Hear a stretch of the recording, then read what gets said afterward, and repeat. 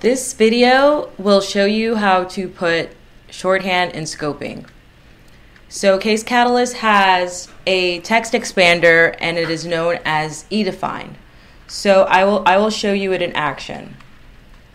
Here we have a transcript we're working on and the question how far was Disney World? Disney World was about 5 miles away. Was Disney World to the east or west?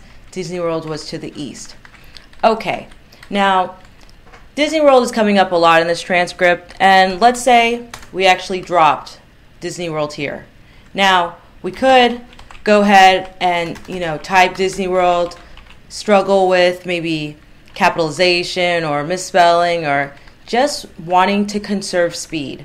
So instead of doing all of that, we could simply type DW, select the text, Control E, and type in Disney World. We could select case sensitive or not. I'm not selecting case sensitive. So any type I type in DW, if I were to drop it for whatever reason, the word Disney World will come up.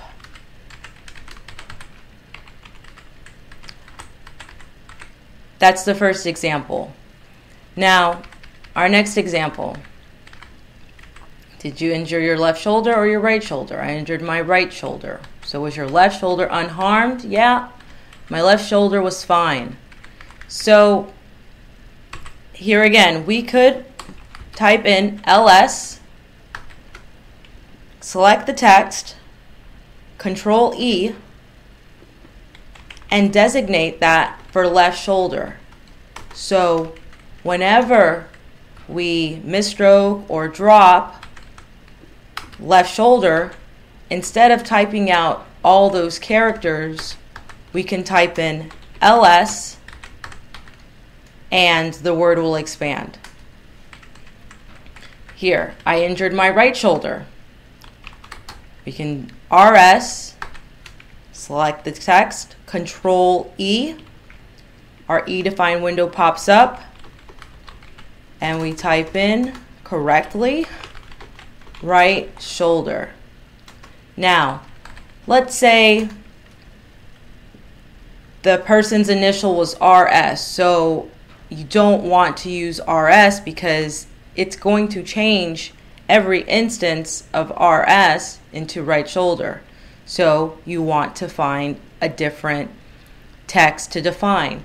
So you can do RR, you can do R3, you can do RT.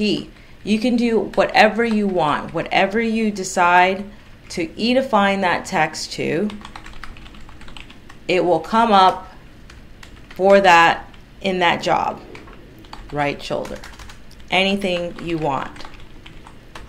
So, this saves a lot of time. It helps with even making sure the punctuation is correct, everything is consistent, and it it makes it less frustrating. Like it makes it easier to get through a transcript. So this is using it very for certain jobs. Certain jobs you will want to create certain certain edefines. However, there are certain edefines that I have for all the time. So for common phrases. So I don't know is a phrase that we hear a lot. And it may be a phrase that we drop a lot if we're not phrasing it, if we're not briefing it. So anytime I write IDK, I don't know will expand. It will expand into I don't know. IDR, I don't remember. IDH, I don't have. IDC, I don't care. Um, and then I even use phrases from steno. So like TET at the time, TAT at that time. What else do I have? I actually have over 600 e defines. And some of my e defines are because when I'm typing too fast, it, I wanted to just correct and, and not have to go through spell check. So you know how on Microsoft Word we have autocorrect so this is basically creating my own autocorrect. So let's see, let me, I have to try to misspell it. It will autocorrect there. Um, have a, maybe I'm, I don't hit the spacebar fast enough and it comes together as one. Instead of now having to come back during spell check for a misspelled word, it actually corrects it automatically. And I have many words like that, especially words that I may, let's see, I know document comes up somehow. Well, okay, well, here, perfect example. Document didn't come out correctly because I was typing it too fast. So instead of having to come back during spell check or having to drag my mouse or, you know, click through the through the word, anytime I miss a mistyped document, it will autocorrect if I e-define it. So here I select the text, Control E, and I write document. Now, I am going to add this to my global tables.